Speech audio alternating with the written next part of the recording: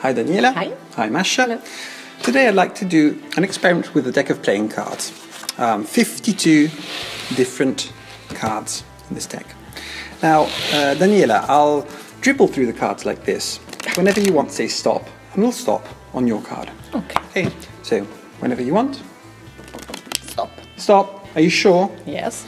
You stopped on the four of diamonds. Okay, we'll put your card down here.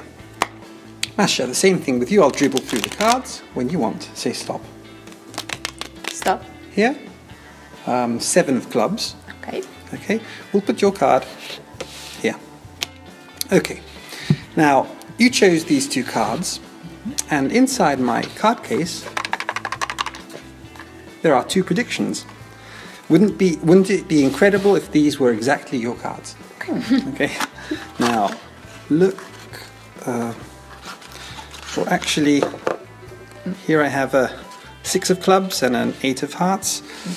Not quite right, but but uh, look, this card here has a green back, and the card you choose chose from the deck also has a green back, and this card here has a yellow back, and the card you choo- chose from the deck also has a yellow back. Oh.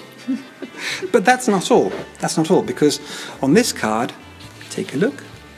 There is written six of clubs, and this card here is exactly a six of clubs.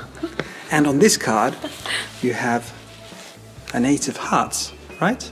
Mm-hmm. And this card is exactly the eight of hearts. Wow.